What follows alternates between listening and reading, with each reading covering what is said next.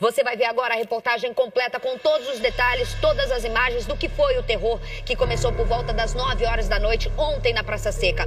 O Comando Vermelho mais uma vez tenta dominar aquela área que hoje está desde 2007 nas mãos da milícia. A nossa equipe de reportagem conta tudo o que aconteceu agora na reportagem para vocês. Rodô. A 700 metros de casa.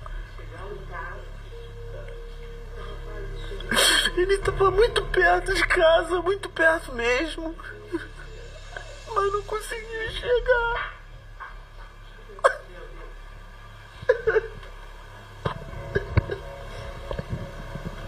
Uma família destruída por uma guerra que parece não ter fim.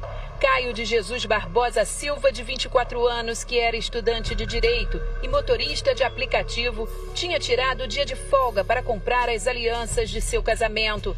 Mas o sonho de formar uma nova família foi interrompido. Mas eu vou realizar os sonhos deles aqui na terra. Ai, meu irmão não merecia tanta violência. Caio voltava para casa de carro quando, por volta das 8 horas da noite, o veículo dele foi atingido por dois tiros. Um deles acertou as costas do motorista. Ele chegou a ser encaminhado com vida para o hospital, mas não resistiu aos ferimentos. O casamento dele estava marcado para setembro. É uma dor muito grande que a gente está sentindo, porque eu conheço meu filho, conheço os outros filhos, conhecemos a família toda, se conhece. E o Caio era um menino muito estudioso, as notas deles eram excelentes na faculdade, ia se formar agora em Direito, ia casar em setembro, dia 5 de setembro, e hoje ele estaria fazendo um ensaio fotográfico junto com a noiva. Só que esse sonho todo dele foi interrompido por uma violência que a gente não sabe até onde vai, onde vai parar. Os irmãos de Caio estão desolados. Eles dizem que perderam mais que um irmão. Meu irmão era uma pessoa muito humilde, muito íntegra. Ele não tinha um defeito, cara. Meu irmão era tudo para mim.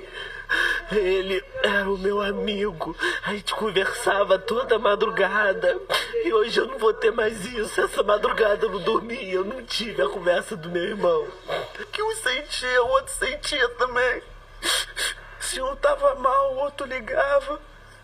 A gente tinha um grupo só nosso. Que quando um tava mal, mandava mensagem no grupo, onde o outro tivesse ia correndo para ajudar. Este é o carro que o estudante de direito dirigia quando tudo aconteceu. Depois de ferido, ele perdeu o controle do veículo e bateu numa árvore. Agora, a Delegacia de Homicídios investiga o caso. Hoje cedo, na rua onde Caio foi baleado, a movimentação da polícia era intensa. O confronto começou por volta das seis da tarde desta segunda-feira e se estendeu pela noite.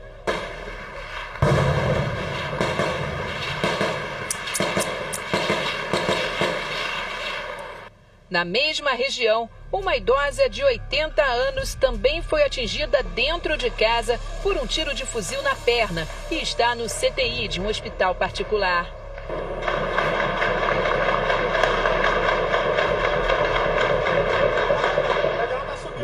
Foram mais de cinco horas de confronto.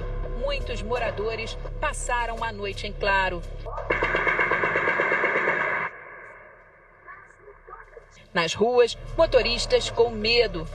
A polícia foi acionada para conter o confronto entre milicianos e traficantes, mas também foi atacada por criminosos do alto das comunidades.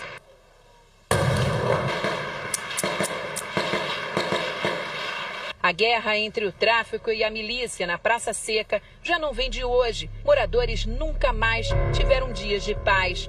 Muitos, por medo, até pensam em deixar o local. Esta mulher, que não quer ser identificada, conta como é viver na região.